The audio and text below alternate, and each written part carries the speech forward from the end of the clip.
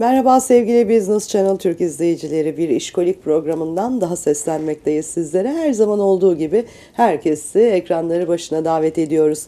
Evet bugün çok renkli ve bir o kadar da güzel bir konuğumuz olacak. Tabii ki el emeği ve göz nuruyla birlikte.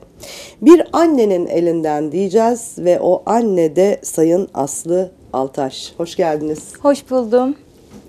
Bizler ve izleyicilerimiz öncelikle Sayın Aslı Altaş kimdir? Kendi dilinden tanımak isteriz. Buyurun. Ee, ben Aslı Altaş, 26 yaşındayım. Ee, Ordu'dan geliyorum. Buraya ben çok güzel bir memleketten geliyorum.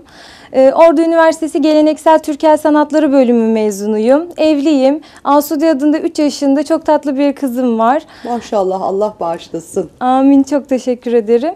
Ee, ve e, 2014 yılından itibaren de e, Instagram ve Facebook bir annenin elinden hesaplarından hobi ve tasarımlarımı yayınlamaktayım.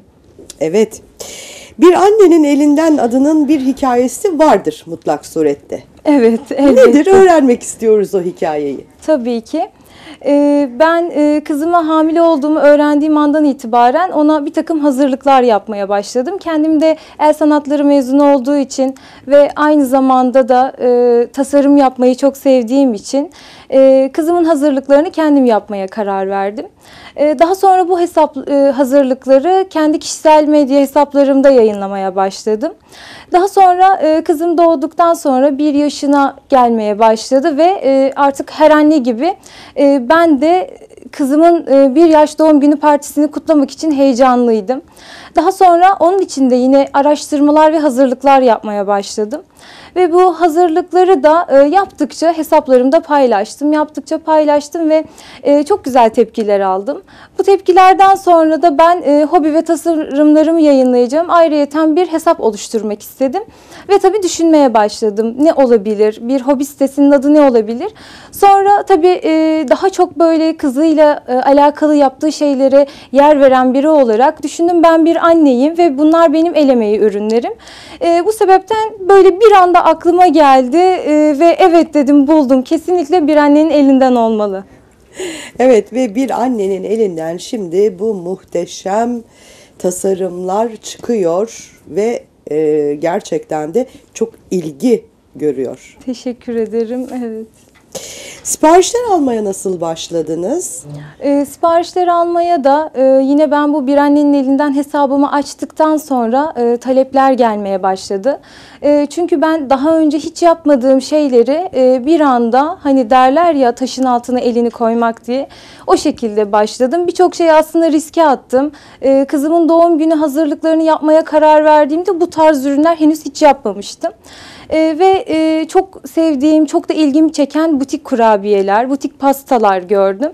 Ve dedim neden olmasın, neden ben yapmayayım? Daha sonra e, bunları yapıp e, yayınladıktan sonra insanlardan yani yakın çevremden, arkadaşlarımdan talepler gelmeye başladı. Ben de bu talepler doğrultusunda e, düşündüm, karar verdim. Zaten ben bu işi çok seviyorum ve e, kızımı belli bir yaşa gelene kadar da kendimi büyütmek istiyorum. E, aynı zamanda da hobilerimi bu şekilde değerlendirebilirim diye o şekilde de başladım siparişleri almaya. Evet, Evet, e, hangi ürünleri yapıyorsunuz peki? Çeşitlerimiz nelerdir? Gerçi şimdi izleyicilerimiz ve ben görüyorum burada çok çeşit var ama evet. e, yine de sizin dilinizden dinlemek istiyoruz. Çünkü o maharetli ellerden çıkıyor. o e, güzel bakan gözlerden çıkıyor bu tasarımlar. Dinliyoruz. Çok teşekkürler. E, şu şekilde e, şimdi burada görünüyor zaten e, el nakışı kolyeler hazırlıyorum.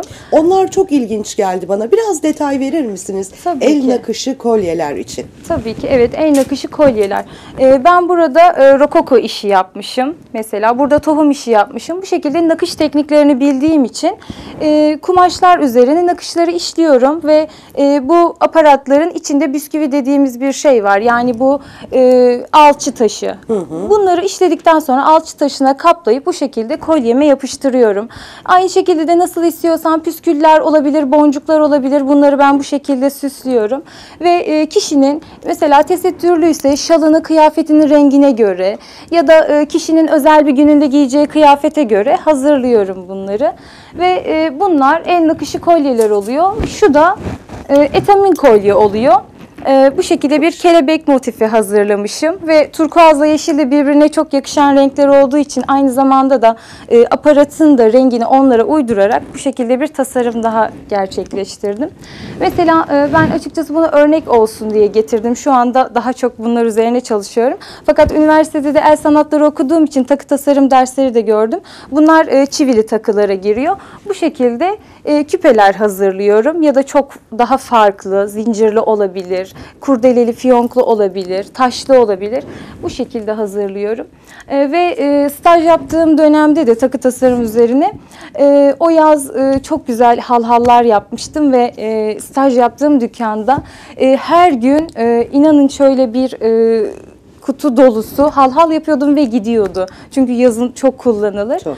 Ee, ve çok seviyorum bunları. Ve aynı zamanda bu şekilde konsepte uygun anne kız taçları hazırlıyorum. Ee, bunlar Minnie Mouse e, konsept için. Mickey Mouse da olabilir erkek bebekler için. Aynı şekilde Hello Kitty'ler olabilir. Ya da e, çiçekli, desenli nasıl istenirse ya da isim yazan taclar olabilir. O şekilde de hazırlıyorum. Burada, badilerimiz var değil mi? Evet, isme özel body'ler onlar. İsme özel badilerimiz var. Neredeyim? Hangi kameradayım? Evet. Asude bir yaşında Evet, yazıyor. kızımın bunda. bana uğur getiren body'si. İlk onu hazırlamıştım ben. Burada yine çok şık bir tane daha var. Evet, bayram şekeri. Bayram şekeri. Ay ay evet. Evet. bayram şekeri olur yani bununla. Kırmızı bir tütüyle birlikte bu şekilde e, bayramlarda çocuklar şeker gibi oluyorlar gerçekten.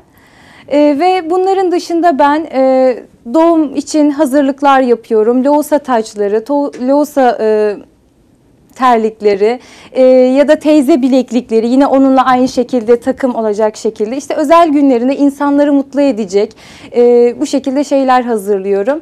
E, bebek şekerleri, nikah şekerleri nişanlarda dağıtmak için yine aynı şekilde hatıralar hazırlıyorum. E, küçük süslemeli kolonya şişeleri yine üzerlerinde etiketli bir şekilde onlar da çok şık oluyor. E, ve kolyeleri göstermiştim. sana. Evet, bu kolyelerimizi şekilde gördük. hediyelik kolyeler de hazırlıyorum. Aynı zamanda bu kolyelerden e, akrabalarına ya da çalışma arkadaşlarına isteyenler için toplu siparişler de alıyorum. Evet. Yok yok yani. Evet. Ürünler bu kadar e, çeşitli ve çok da güzel diyoruz.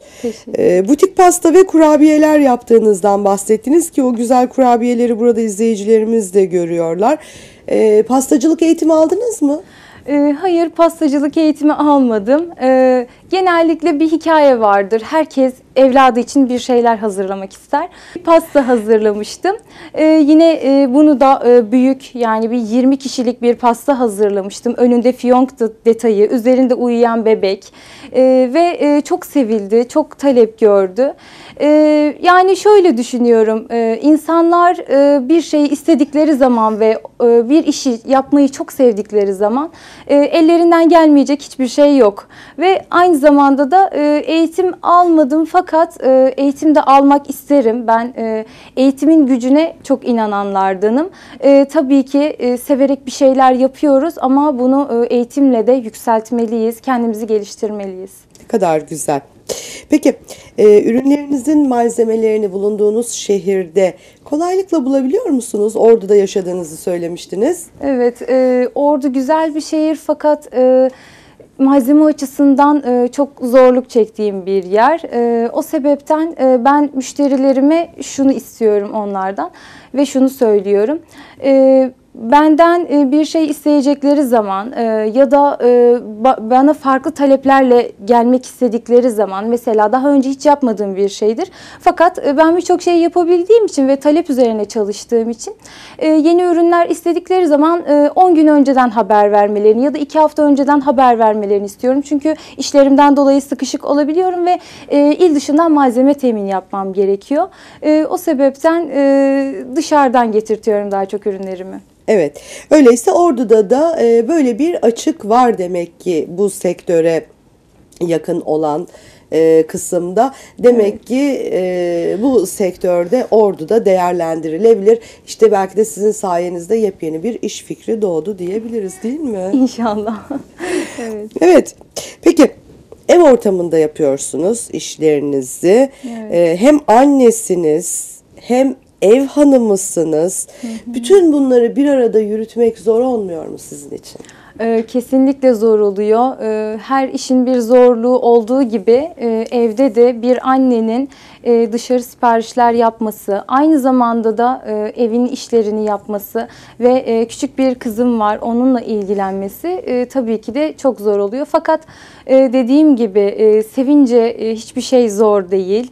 Çünkü aldığınız sonuçlar karşısında o kadar mutlu oluyorsunuz ki bütün yorgunluğunuz gidiyor ve şu detayı da asla atlayamayacağım. Benim değerli eşim bana çok yardımcı oluyor. E, mesela ben kızını çok fazla hani ihmal etmek isteyen bir anne değilimdir. Onunla e, çok yakından ilgilenirim. Gün içinde birçok etkinlik yaparız, oyunlar oynarız. Yani çocukluğumuzu beraber yaşıyoruz diyebilirim ben onunla yeniden. Ee, ve e, eşim bu konuda bana çok destekçidir. Ben bir iş almak istediğim zaman evet sen alabilirsin, yapabilirsin. Biz kızımızla oynarız, biz kızımızla gezeriz e, diyerek yardımcı oluyor. E, ve ben de rahatlıkla işlerimi yapabiliyorum. E, bazen e, o yardımcı olduğu halde uykusuz kalabiliyorum. Çünkü bunlar el emeği, göz nuru ürünler olduğu için uzun saatler ve uzun çalışmalar sonrasında çıkıyor. Sonuç olarak şunu söyleyebilirim ki e, hani derler ya her e, başarılı erkeğin arkasında bir kadın vardır. Benim arkamda da eşim var. Ne kadar güzel. Eşinize buradan e, saygılarımızı yolluyoruz. Keşke her kadın arkasında e, böylesine bir erkek olduğunu bilebilse diyoruz. İşte böyle adamlara yürekten, can yürekten teşekkür ediyoruz biz de kadınlar olarak. Ne diyelim değil mi? Evet, teşekkür ediyoruz. Peki çocukluğunuzda da sanata karşı bir ilginiz var mıydı? Evet, çok büyük bir ilgi vardı. Ee, yani çok küçük yaşlardan itibaren ki okula başlamadığım dönemlerde e, mesela televizyonda hatırladığım bir ressam var. Yabancı bir ressamdı. Şöyle kıvırcık saçları olan. Bob. Evet, Bob. Evet, ressam Bob kendisi. Ee, o her çıktığında ben onu o kadar böyle pür dikkat izlerdim ki bittiğinde aa işte çok güzel oldu ama bitti mi diye e, üzülürdüm. Bir de e, çok fazla oyuncak çeşitliliği olan bir çocuk değildim ve e, her kız çocuğu gibi ben de bebeklere fazlasıyla aşıktım. Ee, ve e, şöyle bir şey yapardım bebeğim olmadığı zaman. E, giderdim odaya annemin çekmecelerini karıştırırdım. Elime geçen kumaş beğendiğim bir belki body belki bir fanila bunları alıp e, kesip bebek şeklinde dikip onların içine de annemin kırlentleri içinden yünler elyaflar çıkarıp onları koyuyordum ve kendime bebek yapıyordum. Sonra tabii annem görünce şöyle bir şaşırıyordu ama tabii bir şey diyemiyordu. Ve e, o kadar küçüktüm ki henüz mesela nakış denen şeyin ne olduğunu bilmiyordum ve ben e, elime aldığım siyah ve kırmızı iplerle bebeklerin ağızlarını, kaşlarını falan nakışlıyordum. Kendime o şekilde bebekler hazırlıyordum. E, ve mahallede büyüyen bir çocuktum. Mahalle ortamı çok güzeldir. Yani şimdiki gibi e, bina içinde e, büyüyen çocuklar açıkçası yeterince özgür yaşayamıyorlar. E, ve dışarı çıktığımda e, bir yerde kil, çamur bir şey gördüğüm anda direkt hemen sanki biliyormuşum gibi seramik yapmalar, kap hazırlamalar, e, işte eski telefonlar vardı böyle antenli onları yapmalar. E, bu şekilde şeyler yapardım. E varmış çocuklukta da varmış ve farklı tasarımlar yapmaya o zaman başlamışsınız. Geleceğe yönelik planlarınız nelerdir? Geleceğe yönelik planlarım şu şekilde. Ee, öncelikle e, kızımı e, her zaman e, kendim büyütmek istemişimdir. E, ve artık şu anda 3 yaşında bir kız çocuğu ve seneye e, sanırım artık yavaş yavaş eğitim, sosyalleşmeye başlayacaktır. E, o sosyalleşmeye başladıktan sonra da ben de kendime yön vermeye başlayacağım. Bu yaptığım şeyler arasından belki bazılarını seçeceğim. Çünkü e, tasarım ürünler farklı ve kurabiyeler, pastalar farklı alanlar. E, o sebepten öncelikle pastacılık alanında e, kendimi biraz daha geliştirmek istiyorum. Eğitimler almak istiyorum. Birinci seviye, ikinci seviye, üçüncü seviye diye giden eğitimler var. E, bunları almak ve kendimi geliştirmek istiyorum. Ondan sonrasında da e, belki bir atölye düşünebilirim kendime. E, bu şekilde bunları yapmak istiyorum. Çok da mutlu olurum çünkü e, tasarım benim hayatımın bir parçası. Ben bunu iş olarak yapmasam da mutlaka e, hayatımın içinde olacak. Öyleyse hayatınızda e, girmiş olduğunuz bu yol hep açık olsun diyoruz. Böyle güzel tasarımlarla hem e, hobinizi gerçekleştirmiş olun hem de bizler dolaylı da olsa faydalanmış olalım bu güzel tasarımlardan diyoruz. Tekrar hoş geldiniz, sefalar getirdiniz Teşekkür ederim. Ayrıca beni bu programa davet ettiğiniz için tekrar teşekkür ederim. Hoş geldiniz. Sağ olun. Evet sevgili işkolik izleyicileri bir annenin elinden marka olma yolunda hızla ilerliyor ve çok maharetli bir anne bizimle birlikteydi. Sayın Aslı Altaş'ı ağırladık. Asude'nin annesi. Hoşçakalın.